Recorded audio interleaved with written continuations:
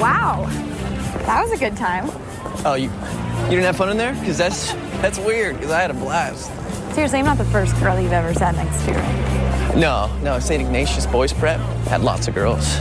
I sat next to a ton of guys at Marymount Girls Academy. Oh, no way. That's. I mean, we're of kindred spirits. So are you gonna join a fraternity? no, you know, I think I might be more of a guy who stands on his own. A lone wolf kind of thing? Yeah.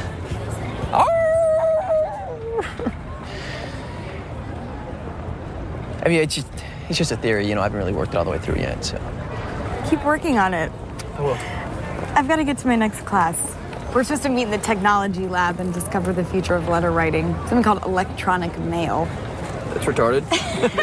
I know, right? retarded mail. I'll see you around, Lone Wolf. All right, Christie. Not if the military industrial complex gets you first.